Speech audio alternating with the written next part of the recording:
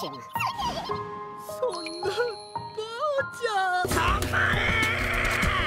止まれドラゴ今すぐばあちゃんのバッグを返せ。あれはばあちゃんの大事な手術なんだぞ。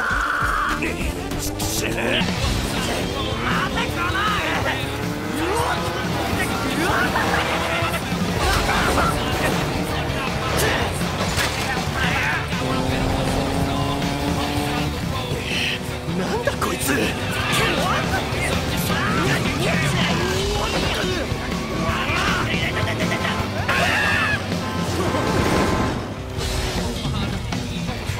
俺の勝ちで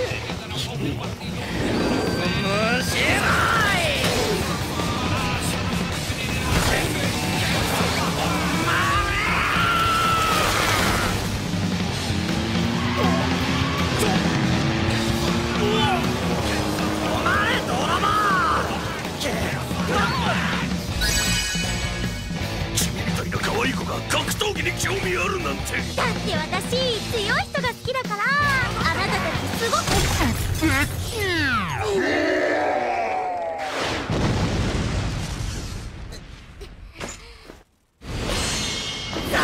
な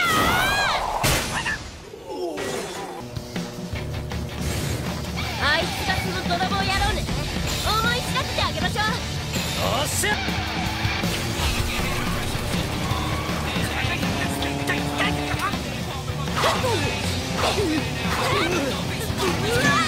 仕方ない。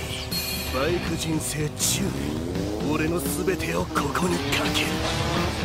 コーナリングで勝負だ！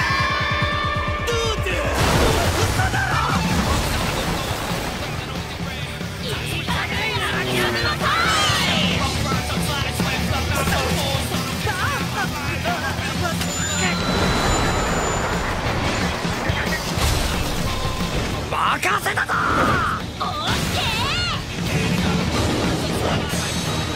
ー結婚。憲法第17